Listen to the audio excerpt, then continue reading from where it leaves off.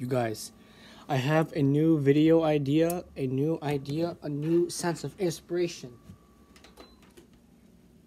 So check this out. so, if we think about how pro level or professional or people are the highest achievers, the highest level of achievement, how did they get there, right? How did they achieve at the highest level? Well, think about it. Recently, um, I have been studying like the psychology of video games and how professionals are able to get to that professional level. There's a small distinction between an average player and a pro level player, right? And how I've come to terms with it is I'm calling it, and I'm making this rule up myself, is the 100 times rule. Let's say um, there's someone who wants to master a skill, like drawing, playing tennis, um, playing video game. If you want to learn how to do something and get so good at it, is to do it a hundred times. Playing French horn, uh, I probably played the B flat major scale over a hundred times because it's the easiest scale. What about the A major scale? I haven't played that a hundred times because it's hard.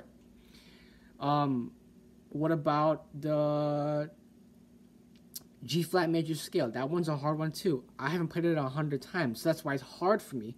For beatboxing, I've done the kick drum, the K snare, the lip rolls, over a hundred times, over thousands of times, probably tens of thousands of times, who knows? But that is why I'm getting so good at it. Um, Serena Williams, she's probably hit over hundreds of thousands of tennis balls. She didn't get to the pro level. She didn't get all the awards. She didn't get number one tennis spot, uh, female tennis player, by hitting a tennis ball 10 times not a hundred times, probably hundreds of thousands of times. She hit a tennis ball over and over and over again. The hundred times rule. This is how professionals get to their level, get to their massive, insane skill. Michael Phelps probably swam hundreds of thousands of laps. Who knows how many laps this man has swam? He's gotten over what 28 gold medal, 28 medals. Um, pro level gamers in terms of fundamentals, learning how to shoot, uh, uh, learning, learning how to shoot an FPS game, doing the drill over and over and over again to practice the recoil, to practice the flick shots, whatever the case may be. Uh, musicians, people at the highest level, the musicians that play at Disney, the musicians that play at Warner Bros, at um, 20th Century Studios, whatever the musicians are, they didn't get there just because they got there. They got there because they played the same thing hundreds of times. They played a G major scale hundreds of times. They they held out long tones for hundreds of hours. I'm talking about the pro pro, the highest level achievers, put hundreds of hours. The, the, the, the same thing hundreds of times. Fundamentals thousands of times. A hundred. Who knows how many times? Just beyond belief. The repetition, the discipline, the fact that they did it over and over and over and over again to get to that high level achieving level. Now, now, I'm I'm I'm I'm I'm curious to know. We've talked about breaking out of the comfort zone. We've talked about breaking your limits. We talked about um, all these life skills, lifestyles. The challenge for myself, the challenge for you, the challenge for everybody now is imagine this. All right, imagine if you are a drawer. Imagine if you're an artist, right? Oh, I'm not that good. Um, you know, I'm scared to put my art out there. I, I don't know how to get better. I don't know how to improve my skills. Just think for a second. Imagine the difference. Imagine how much progress you make. Imagine if you were, if you drew. Imagine if you were able to create a hundred pieces of art.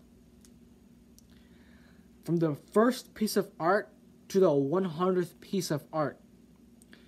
If you were to make a hundred pieces of art, Imagine the amount of progress. Imagine the level. Imagine the skill you would be at by the 100th piece of art. This is the rule I'm making up for myself right now. It is the 100th with the 100 times rule.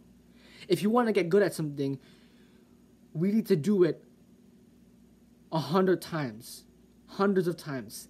This is concept of goal setting, concept of uh, high intensity interval training. If you know HIIT is a workout um, sort of thing where people use it to exercise, where they do high intensity and then take a small break. High intensity, take a small break. I've taken this into an account of how I work. So for homework, I go really hard for 30 minutes, take a three minute break. go really hard for 30 minutes, take a three minute break. When I'm working on something else, um, if I'm um, practicing my instrument, or if I'm working on studying or working out, right? Go really hard for 30 seconds, take a 30 second break. Go really hard for 30 seconds, take a 30 second break. For music, um, practice for five minutes, take a one minute break.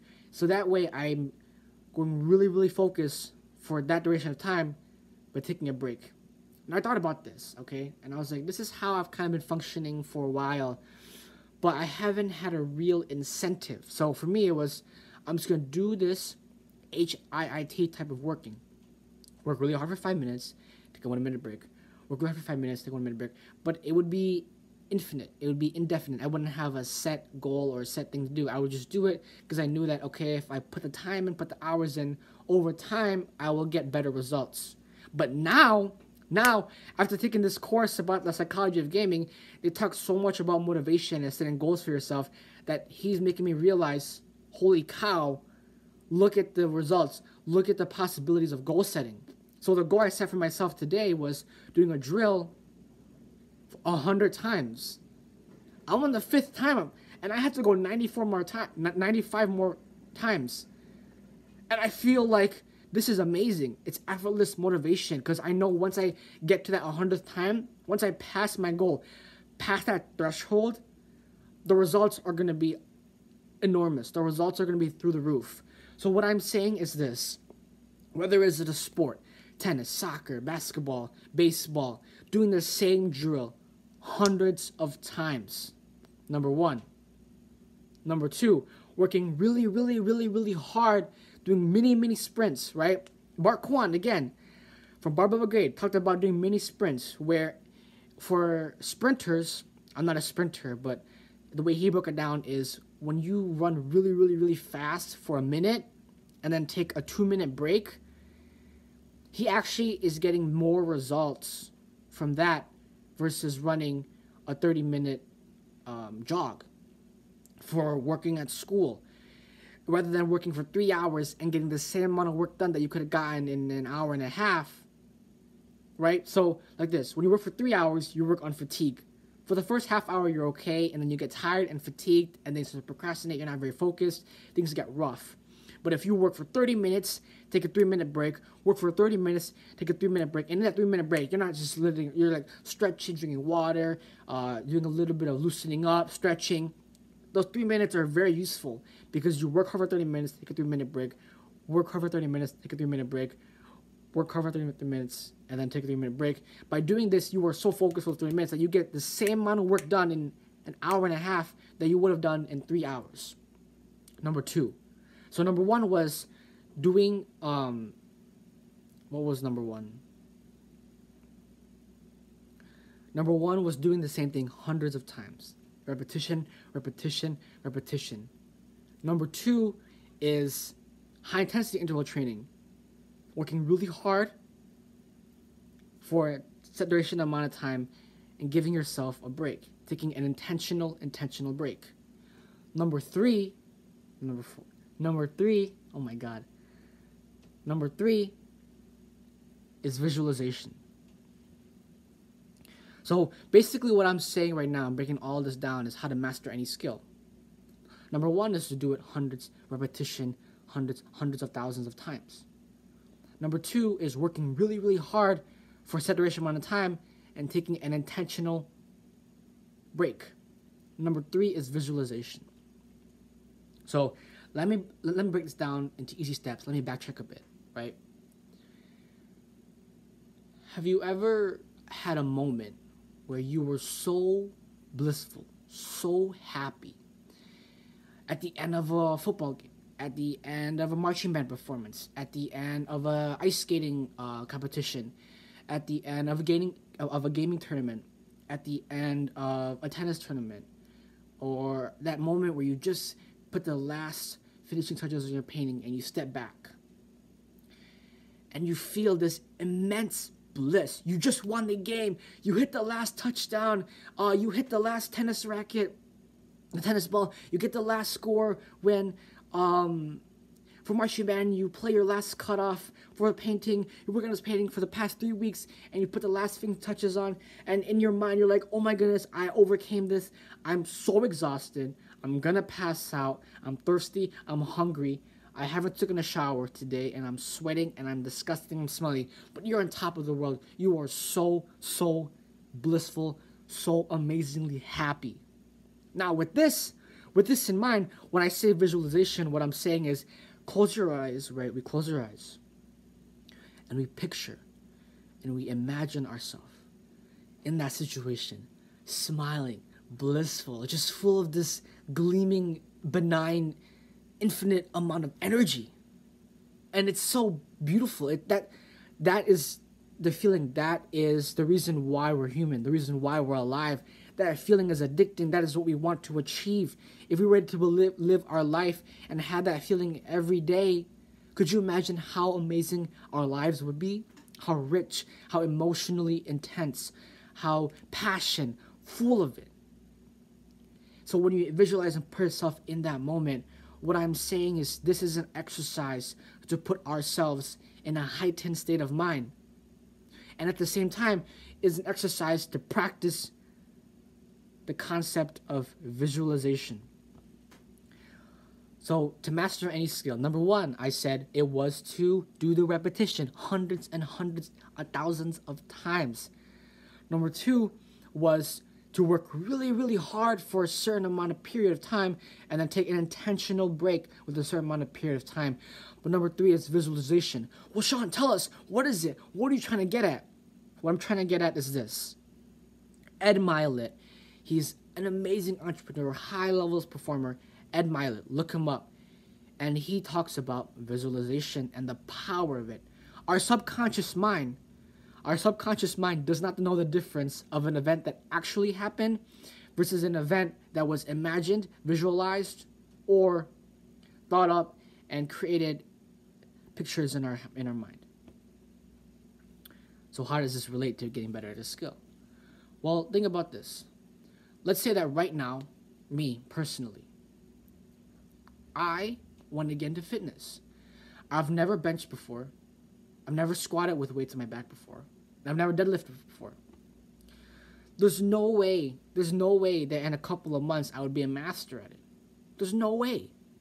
There's no way. I didn't, because I could not have gone through that many reps hundreds and hundreds of times I could put in the work in and put a set amount of time for me to do the work and then take a break. But what's going to help me boost my progress at getting better at bench, squat, and deadlift is this power visualization. So, what I can do and break it down so, so much. So, check this out. I'm going to break it down with two examples. Example number one is Ed Mylett, when he was in college, he um, uh, uh, when the pitcher pitched the ball, the ball hit him in the calf, and a tumor formed on his calf. So he had to get surgery to remove the tumor. So he was not able to play for six months because he had to get surgery and it took time to heal. Ed Mylett, at BP batting practice, he couldn't practice because his right because his calf was uh, not working correctly. So his college uh, psychologist and most college psychologists at that time when he was in college didn't have um, sports psychologists. Brought him over and sat him down. He said, Ed Mylett. He said, Ed, Eddie, Eddie, come, come sit down. Let me talk to you for a bit. Eddie was like, all right, what's going on? And the psychologist said, I want you to visualize the ball. And I was like, what do you mean? And then the psychologist said, well, where's the camera? Is it center field? Is it from the stadium? Is it from the top? Is it at a 45 degree angle? Is that a 37 degree angle? Where's the camera? All right. And Ed, Ed, Mylett said, okay, it's uh, center field down the line. He said, oh, okay. Um, he said, now, Ed, Eddie, I want you to visualize this. What hand is the pitcher? I said, I don't know, right handed. All right, so pitcher's right handed, camera is center field. Now, I know this is crazy. You guys are like, what is Sean getting at? Just hang in there. By the end of this, this will blow your mind. All right, check this out. So, pitcher is right-handed, camera center field, and the psychologist said, Eddie. now I want you to break it down so slowly. Break it down to where he could just see the ball, the release point from the ball. The release point from the pitcher's hand, the ball, when the ball was rotating, leaving out of the pitcher's hand. And he broke it down so slowly that he could count the number of stitches on the baseball. He could imagine and visualize the bat in the box at the same exact location every single time. When the bat would hit the ball, the rotation of the ball, the number of stitches in the ball, the, the trajectory of the ball going every single time. Now, Eddie did this for the next six months, and when he went back to batting practice, now think about this, okay? So freshman year, Eddie he hit an average uh, 0.287 or 0.3, 0.237, I believe what he said. That's pretty average for a freshman in college. But sophomore year, when he came back after the tumor, he led the nation in batting.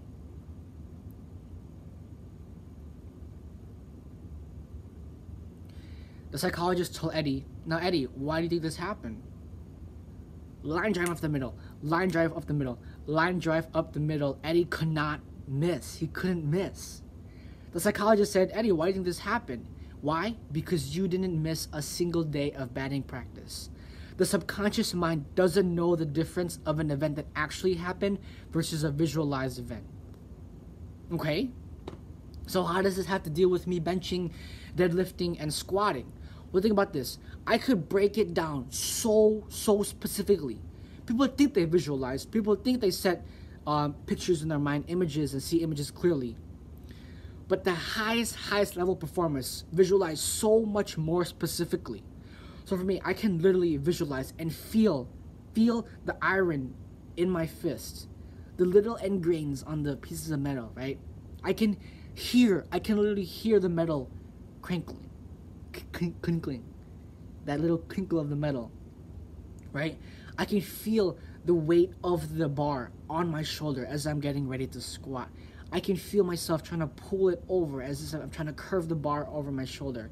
I can break it down so, so much that I could even memorize the feeling of my feet planked in the ground, what kind of shoes I'm wearing, what's underneath. Is it gravel? Is it rubber? What's my floor? Is it concrete? I could listen to the sounds from the back, to hear the echo of the people around me, their voices, could feel the sweat on my brow, to hear my own breath, to put myself in that moment so, so specifically to the point that I can even know the pace that I'm breathing, the little engrams of the metal, the feeling of the weight on my back, the feeling of my feet, the formation, the feeling of my neck, the feeling of my shoulder, the feeling of my knees, every little ounce I can visualize. And what this does, the subconscious mind does not know the difference of an event that actually happened versus an event visualized. I can anchor the feeling in my body and I am working, I am creating progress without even touching a bar.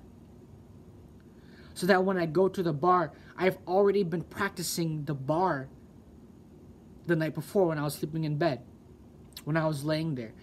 That is extra repetition, extra hours. Now, when you anchor it in your body, when you go to the actual event, you're like, oh, this is so much easier. I did this last night.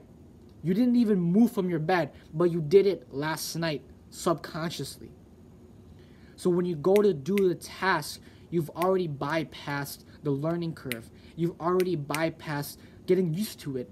You've already bypassed the fact that, oh, is this right? Um, I don't know how this should feel. You've broken every sing- we've broken every single aspect to its absolute tiniest, smallest details. Now, I've done this for music too, for playing French horn. One of my goals is to play on a big stage in front of lots of people. I visualize myself standing up there, breathing, feeling the metal on my mouthpiece, the air vent from the top of the roof, someone coughing in the audience, the conductor next to me getting ready to cue the ensemble behind me. I can feel my shoes, feel my shoulders, the weight of the horn, my fingers playing the entire concerto. I visualize it so, so well that when the event actually happens, I won't be that nervous because it already happened. I won't be as anxious, like, oh my goodness, I'm nervous, this is my first performance. I will be less prone to, oh my goodness, I'm scared, oh my goodness, I'm fearful of what's gonna happen. I already went through the event, it already happened. Now we're just doing it again. So that is the power of visualization. And if any of you know um, T- Tony Gonzalez, he was a recent Hall of Famer for the NFL. He talks about visualization as well. And think about this, all right? The NFL players are the pro level players of football in the nation. And this is how he visualized.